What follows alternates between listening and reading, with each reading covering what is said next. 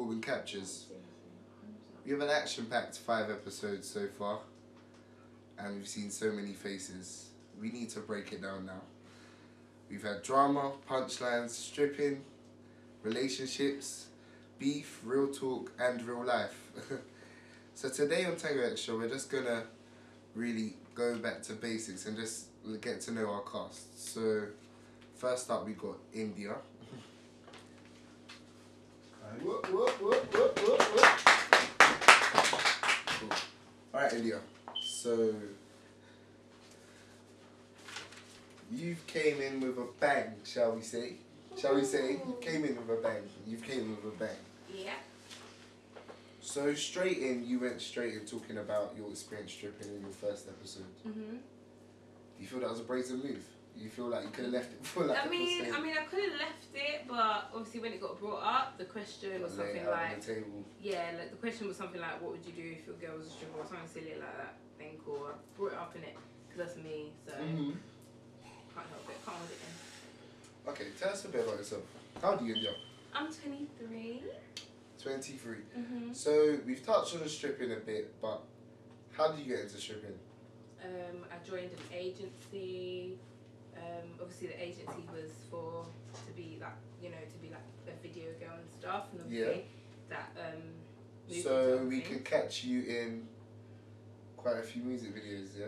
Yeah, but I won't tell you which ones because I don't want you to know. I'm sure we'll work out in the comment section, comment section below, comment section below. the only way you'll know what videos I'm in Mhm. is if you see my ass. If you see my ass in real life, then you'll know what videos I'm in. Yeah, It's just Cool. simple. we've seen that. Cool. All up in that. you lot We've idiot. all seen that. I hate you lot. Stop it. So, so, you, so you said you were- you started off as a video girl. hmm How did that get into stripping? Um, so obviously the people that I was around, um, the girls that I was around, obviously they stripped and stuff. So I kind of got into it as well. It's as simple as that, really. Oh, so the opportunity came. Yeah, like obviously the it. people I was around, they stripped. So I thought, why not? Would you do it again? Nah, I wouldn't do it again. Is it an experience where you'd be like, okay, I've done it, but no regrets? Or I mean, I've done it. I can't Mhm. regret it because I've done it. Mhm. Um, I wouldn't regret it. I just I've done it. Like I did it to see what it was like. Like you hear stuff about like stripping and lap dancing and stuff like that on TV. So now that I've done it, I know what it's like and I know what it's done to me as a person. So I can't. I couldn't do it again. Okay. You, we've seen on the first episode you were Mhm. kind of given a hard time by Mhm. other cast members for the whole idea of you going out there and stripping and thinking that that's it. Yeah. The- the- um, especially the guys, there's a bit more to it. Mm. Like you're see you laying yourself out there and kind of giving yourself out there, just out there like that and stuff. Did you take anything to heart? Did No. you say No. not at all? No. I've taken. There's been a lot worse, a lot more worse things that I've taken to heart on social media, and so you telling me this now, only now, once I finish stripping and I finish doing everything I'm doing, I can't take it personally now. It's, it's too late. It's too late to get in Past my brain. stage. Yeah. Certain things, there are certain things that will get to me because it's not something that I've dealt with now. But things like, oh, you're a stripper bitch, nah, nah, nah, all of these things like, you're a hoe, you do is this, this, and that. Those certain things I can deal with because I got it every other day. But So at this point you're hard into it. yeah, you have to, you have to build a thick skin. Okay, that's understand. Talking of disagreements, Mhm. you have you have um, got into quite a few disagreements with uh, the fellow cast Yeah. And stuff. Even in episode five, that should be dropping very soon. We see you get to your climax literally. Like every week, you think you just can't get worse. Like literally, you get there and you get there. It's not getting get worse.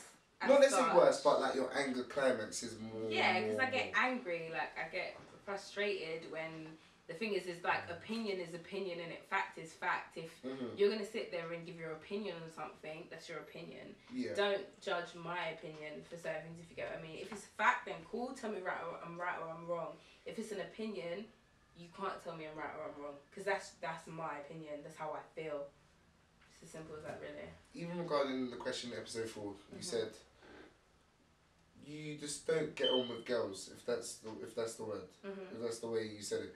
And do you think that is root to your issues with other cast members or why you mm-hmm. clashed with No. Sarah and Zanny? It's got nothing to do with the relationship that I have with Sarah and Van. If it's me as a person, my relationship, I've had more male friends than I've had girlfriends.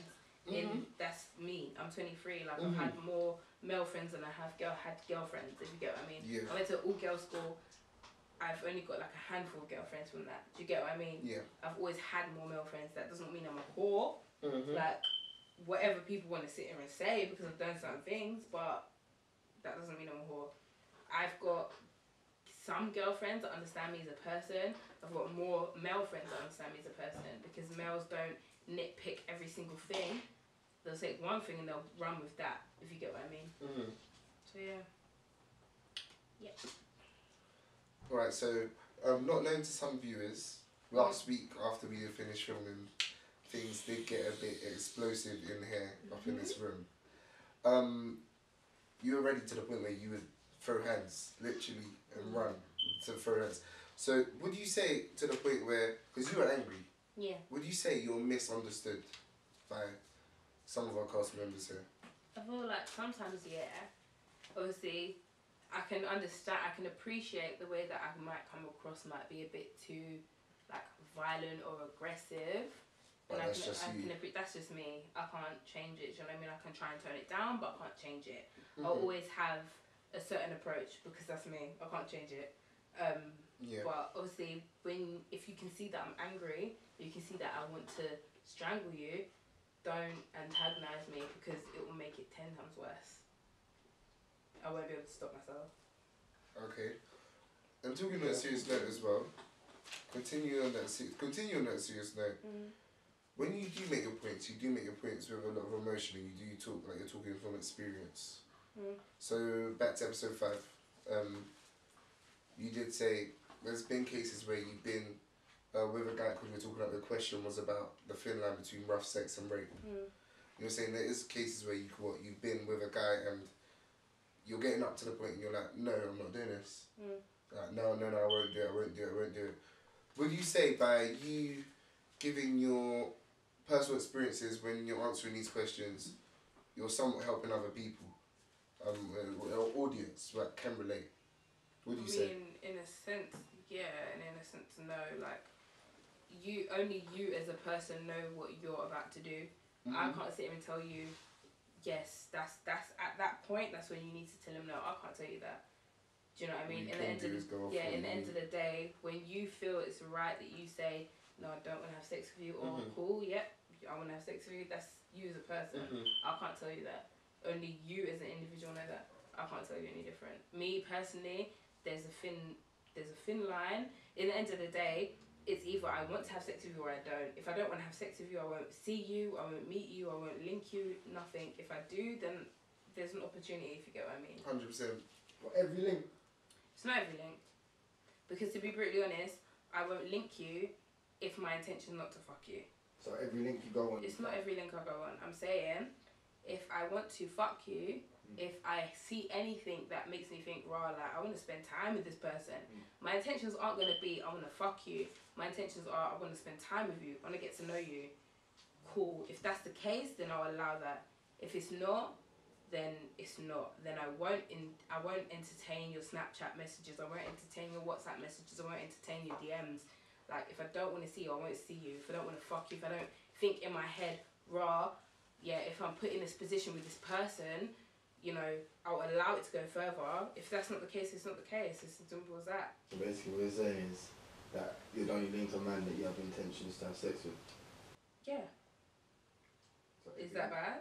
So every link you go on. It's not every link. The thing is, is you can't say it's every link you go That's on what you just because said. no, I understand. I get where you're coming from, Mm, but exactly. I don't link mm. a bag of people. Mm. If I do link you, if I do make go out of my way to mm. sit there and see you and go out and dates with you and things like that, then well, obviously I've got like some thought in my head that raw like that could end up happening, and I will, you know, go for that. But if it's not, then it's not. If it is, then it is. Okay. Cool. And then going back lastly, Mm. so because obviously it's only with Yeah, camera last week. Of course. Um, so you got angry or whatever. Mhm. You and Sarah did have a chat off camera as well. Mhm.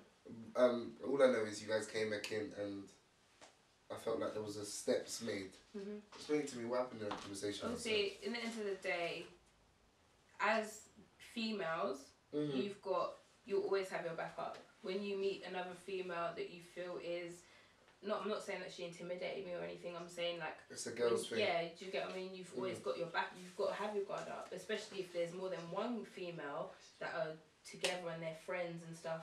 You're gonna have your back up. Mhm. we had a conversation. I basically explained to her that my issue so much wasn't with her; it was more, more or less with her friend. So if you've got a problem with me, please tell me your problem with me. Don't tell me anyone else's problem with me. Do you, do you get what I mean? Mhm. I can come to an understanding with Sarah. Cool, whatever. We might hash out on the show. We might disagree with certain things, but in the end of the day, she's still a person. I can't sit and disregard her. If you get what I mean, and her opinions. Her opinions are her opinions. The same way that I will sit and fight for my opinion is the same way she's gonna do for hers. I can't sit there and say you're wrong for your opinion. It's the same way I don't want anybody to sit here and tell me that I'm wrong for thinking the way that I think. It's as simple as that. So we've come to an, an understanding. And the last question on everyone's mind is where do you and Zanif stand now? Um, me and Zanif, I mean, we haven't spoken, so don't really know. On Um, site. huh? On site? No, it's never. The thing is with me, it's never on site. You've got to. With me, you've. It, there's got to be a build up. I'm the show. My life does not revolve around this. Do you get what I mean? So should Zanif watch her back? Zanif shouldn't watch her back. She should just be herself. In the end of the day, I'm not gonna sit here. If she walk through the door, I'm gonna fight her. I'm not gonna fight her. I'm not gonna make an effort to, to speak to her. It's But- nothing that's not mendable, Do you get what I'm? It's the thing is, is it's always mendable. That's It's not. You haven't fucked my man. You haven't disrespected my parents. You haven't told me you're gonna bang me in my I did hear. I did hear that someone shouted that there was going to be the removal of someone's weave. I can't lie. Yeah, but I said that, so that's different. Oh. Yeah, but you say things like that. But when you're so should angry, Zanif watch your weave then?